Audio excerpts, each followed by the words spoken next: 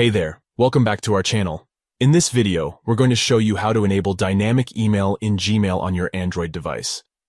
Dynamic email is a new feature that allows you to interact with emails without leaving your inbox, making your email experience more convenient and efficient. So let's get started. Step 1. Open Gmail app. First, open the Gmail app on your Android phone or tablet. You can find the app on your home screen or in the app drawer. Step 2. Tap the menu icon. Next, tap the menu icon in the top left corner of your screen. It looks like three horizontal lines stacked on top of each other. Step 3. Scroll to Settings. From the menu, scroll all the way down to the bottom and tap on Settings. Step 4. Choose your account. On the Settings page, you'll see a list of your email accounts. Choose the account that you want to enable dynamic email for. Step 5. Scroll to Download Attachment. Scroll down the page until you find the Download Attachment option. Tap on it to check it.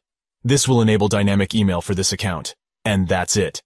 You've successfully enabled dynamic email in Gmail on your Android device. From now on, you'll be able to interact with emails without leaving your inbox. Dynamic email can be a convenient feature that allows you to take action on emails quickly and efficiently.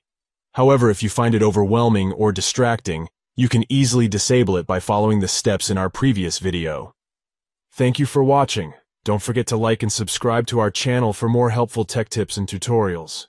And if you have any questions or comments, please leave them down below, and we'll get back to you as soon as possible.